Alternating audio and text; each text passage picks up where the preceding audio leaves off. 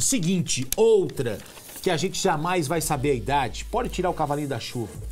Tem muita gente mentindo a idade, mas essa daí ela não revela a idade, ela nem conta a idade que ela tem. Quem é, Fabiola? Quem? Quem? Quem? Quem? Preta Gil. Não. Glória Maria. Glória Maria. É verdade que ninguém sabe a idade dela? Gente, ninguém sabe a idade dela verdadeira, nem a própria mãe dela. Não. Ela, A ela mãe? disse que a mãe já se esqueceu da idade verdadeira. Ela, ela mente tanto a idade, tanta idade, que ela conseguiu confundir a própria mãe. Nem a mãe lembra da idade dela. Ela falou que a mãe dela não, não lembra da idade real dela. Ela conseguiu fazer uma lavagem cerebral na própria mãe Eu dela. acho que ela falou pra mãe, mãe, se você falar a minha idade, eu não converso mais com a senhora.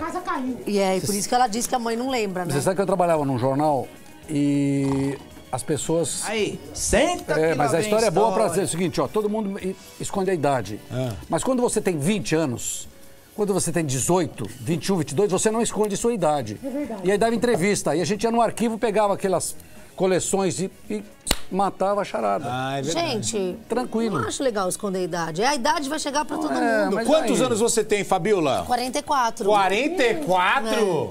É mentira dela. Porque parece mais? Parece que tem 48, pô. Vamos lá. Ó, e a- ela falou que esse segredo vai morrer com ela, Glória Maria. Ninguém nunca vai saber.